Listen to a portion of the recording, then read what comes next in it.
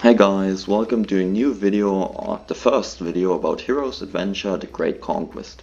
This is the new DLC which has just dropped for Hero's Adventure and well, I've played one full run now, I started another, so let's talk a bit about it. The idea with the game is you are positioned on this large map. In this case you have your sect now big downside, you cannot create your own sect, you can only start with one of the existing sects. So well, we can take a look at that as well.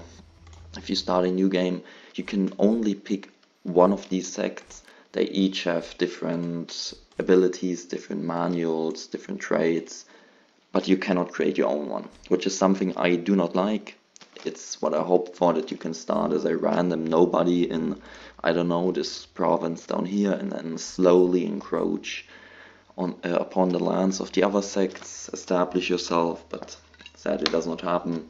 Instead you only can pick with one of these predetermined options.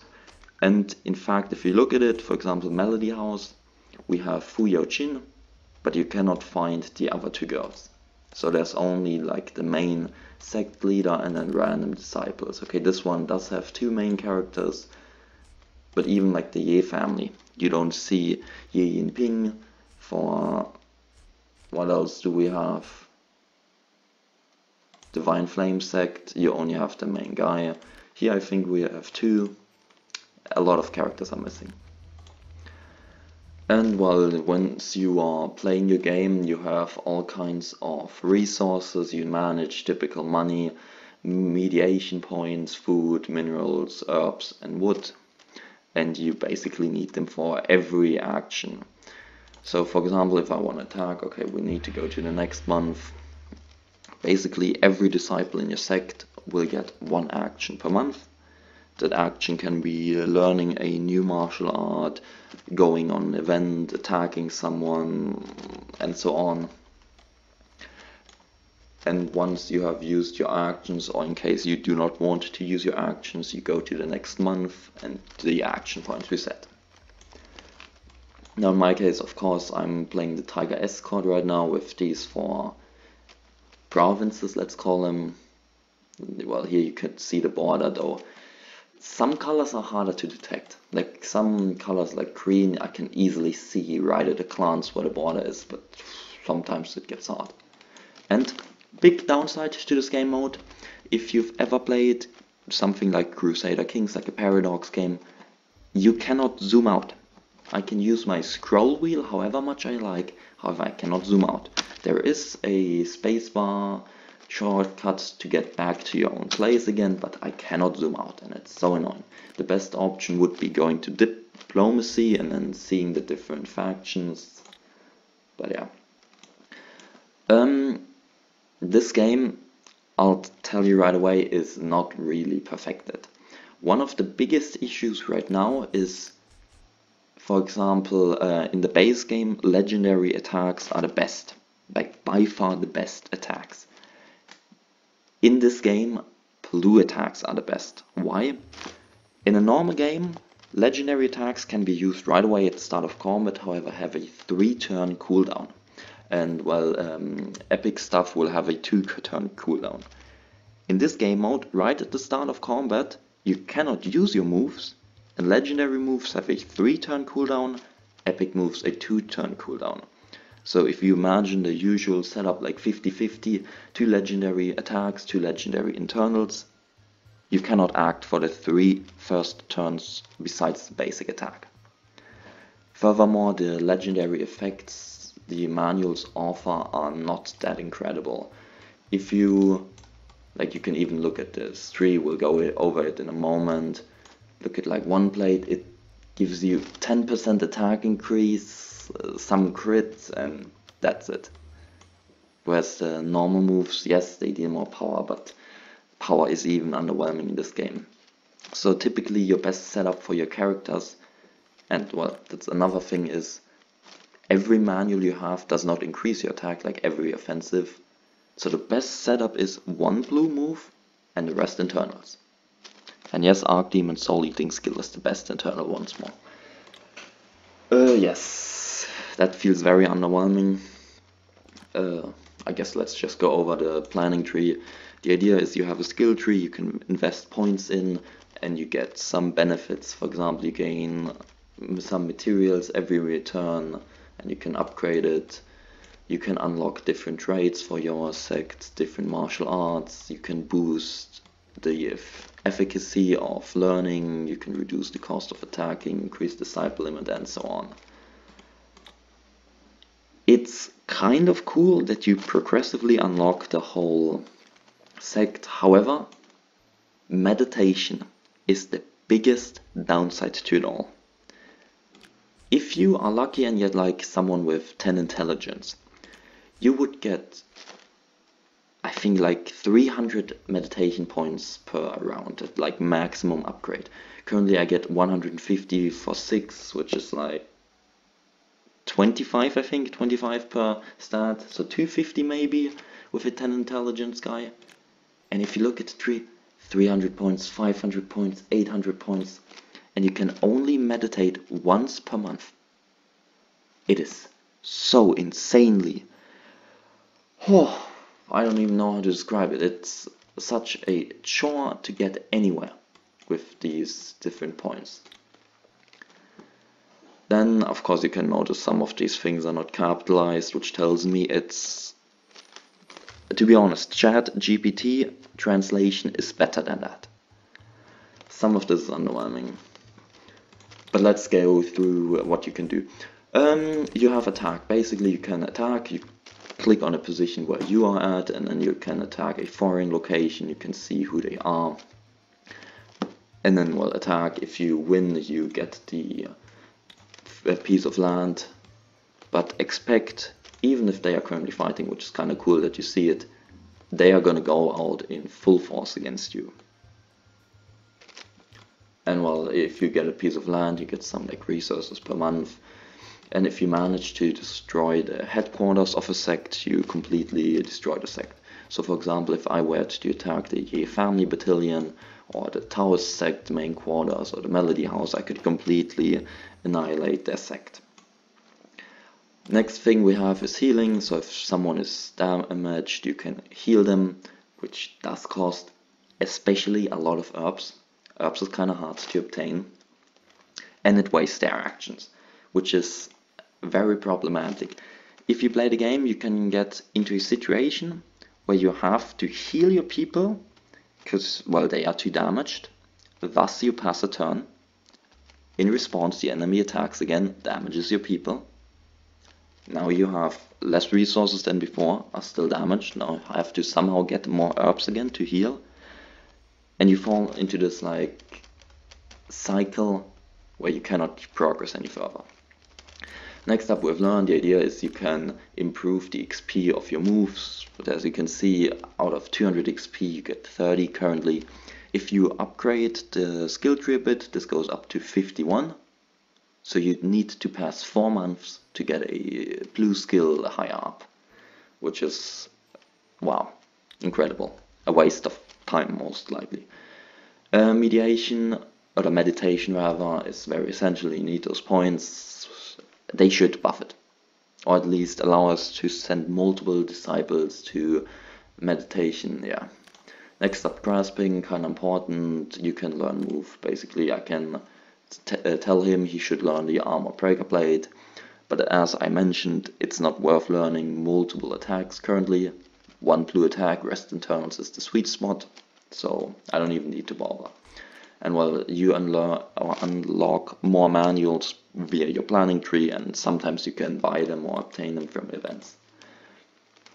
Benefit this was not even explained in the tutorial, which is, it just shows how complete the tutorial is. The idea is, if you've played like Crusader Kings 3 for example, each county had a control stat, depending on the control stat you got taxes and levies from it, it's essentially the same. If a position is very stable, you get all the output from it. If the stability reduces, you get less output, and well, this would increase the stability, but yeah, you waste the time for it. Supply. Um, you'd actually first have to unlock in the lovely skill tree somewhere, I don't even know. unlock Garrison Disciple. The idea is you can send some of your disciples to, um, okay, not your disciples, but extra disciples to protect those different places so that when an enemy would attack, you have like an additional meat body to help you out. Very underwhelming. And supply would allow you to recover them, but you waste your main disciple's action, so it's not worth it. Then events, there are different events you can obtain. They have a duration, how long they stay here for, and a limit of how many people can go. This is actually kind of cool, that it feels a bit more interactive and everything, just like in Crusader Kings 3 when you get different events and stuff happens. Uh, next up, the bottom things like info, I can look at my character, see how she is. By the way, level 10 is the maximum in the game, and yeah. Now a lot of these traits, I don't know if I have a good example, are AI translated. You can see it right away. We have some really bad cases where I have no clue what it even talks about. Furthermore, you cannot increase the base stats really. Yeah, you cannot increase them at all, in fact. And the plate stats, this is hilarious. In the base game, these are really easy to increase, even by learning manuals. In this game, you cannot really increase them outside of accessories. And they are mandatory to equip certain equipment. Like a legendary plate would need 9 plate stat. And it's possible that a random disciple, okay, I selected the ones which actually have at least 9. A disciple can have just 8, which means he could never wear legendary weapons. Next up recruiting, you can recruit characters. Do we have a good case now?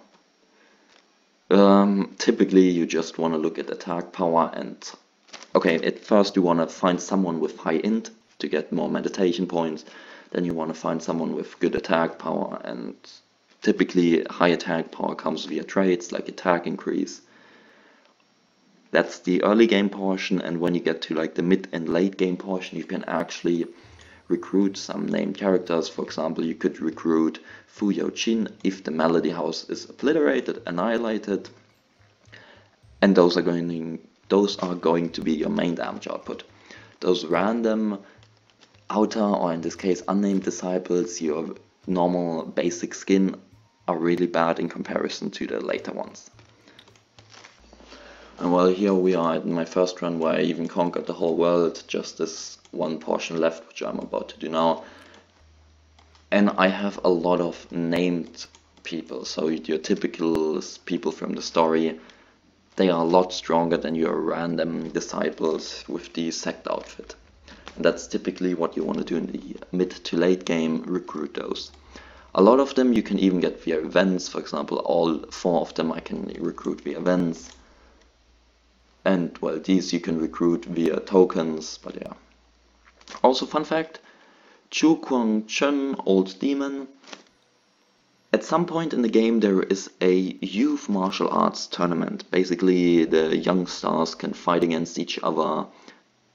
Old Demon actually participates in that. And he always wins. In every attempt I've had he always wins. He has such ridiculous stats. Very balanced. Um, well, we can now continue on. By the way, here you can see a few more. If you increase your planning tree, you can unlock more people at once. Now, next up, we get to managing people. You can increase, if they are an outer disciple, we better go back to the other, not that, other save file. If you have outer disciples, like here you could promote them to inner disciples which increases their level cap and that's it. I think normally it's like level 8 as an inner disciple they can become level 10 amazing. Truly incredible mechanic. I have never seen something like that. They could have also just written down increase level cap. And that's it. That's all it does. By the way since we're talking about recruiting and managing one big caveat of this game is also the disciple limit. At first it's like 4, with a maxed out sect it's 10. If you have 11 disciples, all your characters will get a big mood hit. And while mood you can see in via Desart, it's how well they are feeling. If it drops too low, they do not want to do anything and skip their turn, so you always want to keep it up. So if you, for example, have 15 out of 10 disciples in the end, none of your characters can ever act. And let's be honest, 10 characters in a sect is so underwhelming. You're supposed to be a big sect, and then you're limited to 10 characters. Goddamn. Uh, planning we already talked about. It just requires way too many meditation points. And even all these resources is way too freaking much. Now trading, you first have to unlock a merchant via planning, and this is one of the things you should do right away. And then, well, you can trade with them. The coin merchant takes coins, gives you the other resources. Food merchant takes food, gives you the other resources, and so on. Basic stuff. And you can even unlock later on an equipment merchant, expand their goods, and then the nameless merchant. The nameless merchant provides some of the strongest accessories. An equipment merchant with a second expansion provides legendary gear yeah, so you wanna slowly but surely head there. Next up traits, you can basically give your disciples traits. It's similar to the character menu, like when you start a character in the base game, you get uh, ha half points and you can allocate it. But first, let me take a selfie now, um, but first you have to unlock them. And they are tied to your sect, so depending on the sect, you only get specific ones. For example, here plus one strength, 10% attack boost, 10% crit boost, 10% parry boost. Uh, main attribute of armor is increased by 30% and then the two strong ones, which is 50% chance to deal double damage and another action after killing an enemy. But just look at how many meditation points it would take. And if you unlock those, you get several copies of it so some of your disciples can just get it. And of course, the higher the level of the disciple is, the more points he will have. And they also have innate traits, which I'm sure you've seen from the recruit menu. They have some traits they start with. Um, items. Basic stuff, equip your characters with items and this is kind of what you want to collect later on, but the game tells you about it as well. And then the worst feature in the whole freaking game, diplomacy. The idea is you can contact other sects and then make friends with them by, for example, gifting them some items like an opal or some money. And if their relation increases, you can trade with them. If you trade with them, just click this option, you gain this much stuff per month. The higher the opinion they have with you, the more you get. So in a sense, it's free resources. The issue, by the way, is alliance and reconciliation and the way the game works with alliances. Alliances can be, I think, done at 60 or 50 opinion. And what it means is if what okay what do we have here? If the abology sect is attacked by the Zhouzhang fortress and I am allied with the abology sect I can help out the abology sect in the fight. However if let's say I'm allied with the water camp and the Langya pavilion attacks I literally cannot physically move over from my tiger escort uh, position to this fight over here to intervene. So I cannot help out. What it means is I and my ally both have to be adjacent to the enemy, which is really rare, especially if you do diplomacy on a larger scale. That's the first issue. The second issue is relation randomly spikes and we don't know why. There are cases, for example, the blue wind camp I had at plus 50 relation, suddenly they are at minus 20. Now what we also figured out is, amusingly enough with alliances. Let's imagine I, as the Tiger Escort, am allied to the Melody House in a Beast Manor, and the Beast Manor attacks Melody House. All my alliances with those two will break. Next, amusing situation. I am allied with the Beast Manor and Melody House. Melody House themselves are allied to the Jolly tribe. Now the Beast Manor, which well via link is allied with me, I am allied with Melody House. That's like the direct and indirect connection, and then the third degree would be a relation with the Jolly tribe through Melody House. But obviously you don't consider that. If Beast Manor now attacks Jolly tribe, my alliance with the Melody House will break, because my ally now attacked my ally's ally, breaking the alliance. And obviously there will be some negative uh, relation malice as well, due to alliances being broken. Incredible. Incredible. And then next amusing thing is there's reconciliation. The idea is when the sect relation drops too low, you can pay some money to make it neutral again. Essentially what the Linlang temple guy did in the base game.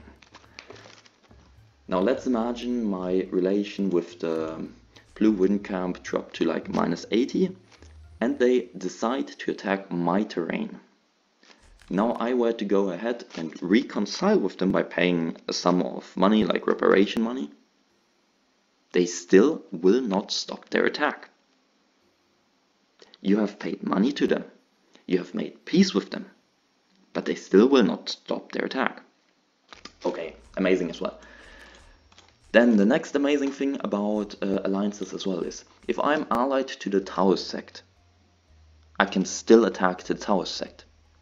Yes, the Taoist sect will not like me anymore, but that's all there is in terms of penalty. There's nothing for like breaking a treaty, a truce, there isn't even something like a truce, but well, a treaty. I can just attack them. Why can I just attack them if I'm in an alliance with them? I don't know. Um, yes. Then the next thing. No events can max. Ah, damn. I don't have it right now. Already taken ICSC. Next thing, there is a big problem with certain events, which is your typical once a month send out your disciples to get some experience event, which is exactly this one. Now I'm level 9 with my main character and 5 with like the others. What do you think I could pick in terms of difficulty? The answer is reliably only D. Why? First of all, you have to skip a lot you get an encounter. And by the way, this is also hilarious with the XP, if we look at it. Sudali actually defeated the enemy. He gains 26. Everyone else gets 1 EXP. That's why my main character is level 9. The others are 5, or 4, or 2. Because my main character is strong. As such, he continues getting the kills. And the other characters cannot level up amazing. But now, the best part about this going out for experiences, it is random when it stops. I had six subsequent fights back to back, which gets stronger and stronger, and you cannot quit in the middle. Your character randomly decides at some point when they want to return. And if you get unlucky, it keeps going and going until all your characters are fainted and then you have fun healing them first. Because it can even be some like three people die, then your strong sect leader keeps getting involved with the fights. Like once more, and another fight. I do not have the option to quit at some point. And like you see it, my main character is so strong, she kills one of those like snakes or scorpions right away. As such, she gets most of the XP. And the only way I can reliably level up the other guys is if I don't send her along. But that risks us fainting. And it's like this devious cycle of not really being able to do anything.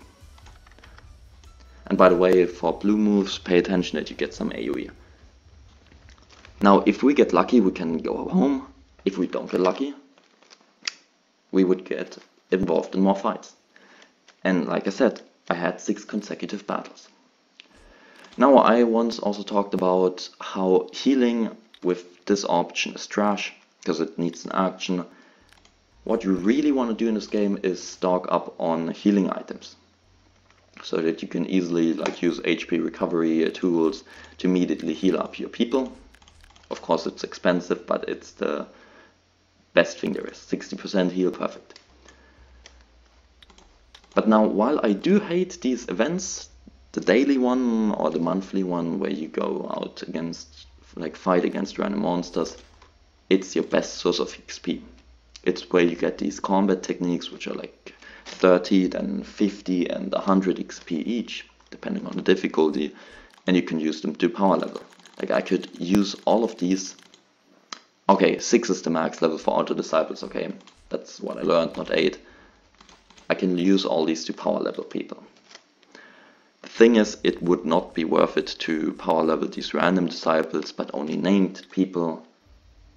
So you typically want to stalk them up until you get some named people, but Ah, it's a mess, sorry. Now, what else can we talk about?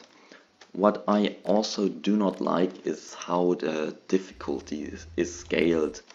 Basically, if you pick someone, you have the different modes, easy, normal, hard, nightmare. On nightmare, all enemies just deal double damage and get double resources. Like, this is fine in the mid to late game once you steamroll the opponent. However, in the early game the enemy just crushes you. Because you need to do meditation to get any of your innovations unlocked. That means you pass some turns. Then in the early game there is a struggle to grab empty land to expand your territory. And well, one of the issues is, for example, this tile right here, my cursor is at, or like these tiles are all um, or do not belong to anyone. So if I'm playing the Tiger Escort, my first idea would be to grab all of these pieces of land. Now if the AI randomly decides, like the Ye family battalion, they at the first turn attack this and this tile, I am locked out of also going for those. Cannot even attack. I can't prevent their disciples from obtaining the land. I am just completely locked out of actions with those tiles. And the AI always gets the first move. So if you're really unlucky, this is the only tile you could get as the Tiger Escort. Because Taoist Sect, Melody House, Beast Manor, all decide to grab those. Blue Wind Camp, Ye Family Battalion grab those. You're left with one. And suddenly you struggle in the early game. Then furthermore, as I mentioned, diplomacy is a mess, even if I increase my relation with the Taoist sect a bunch, which requires a lot of either luck with the gemstones or money, they could still attack me at any point. In the early game with double damage, the AI will steamroll you, so you need to hope that the AI simply does not attack. Very fun. Very freaking fun. Then furthermore, let's talk about some quests. In fact, once you get going a bit, defeat some sects, which is the ultimate goal, to defeat like all other sects and rule this place, establish yourself, establish a rule, whatever. You unlock some treasures in the meanwhile. I have never been more disappointed in those treasures. If a legendary, uh, let's say, piece of armor. We can even take a look at it. If a legendary piece of armor will grant 150 defense, this very strong treasure, like there was this whole build up for it, it's the strongest item there is. Does 280 defense, that's it. No other special modifier. Just a higher base stat if a normal weapon does 240 attack, this special, insane, legendary item, which we forged out of three pieces we had to collect, has the special effect of dealing 400 damage. No extra effects, nothing, just higher base stats. It feels so incredibly rewarding obtaining these items. It's it's incredible.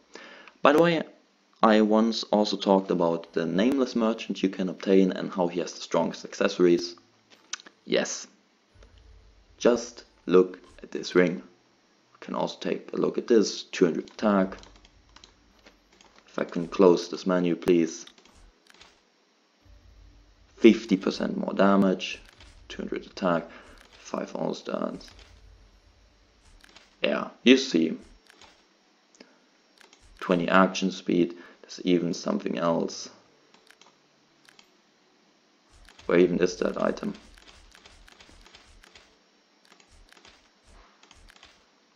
Uh, where is the last treasure item? There it is. This is the last treasure item. These are two of them. And there's the Shinzai fire. I don't even know what this is supposed to do. I'm sorry, but this dragon ring is like 10 times stronger. Yes, amazing. Really love those quests. Also, by the way, in one of the last two events, you at first fight the Nameless Hero, like who has the skin of our main character in the base game. In the first battle, I one-hit him, which tells me my character was quite strong. In the second battle against him, it's a forced loss. Because the Nameless Hero is supposed to be the strongest character. As such, you have a guaranteed loss. How anticlimactic. Like, why do we obtain all those treasures, which are even his old pieces of equipment he had, and apparently he doesn't use them anymore, but instead lent them out. I don't know what the fuck happened. We have all of his equipment, and it's still a forced loss. Why? I don't know if you've played other wuxia games, but I hate it. I freaking hate it whenever there's a forced loss. Just let me try at least.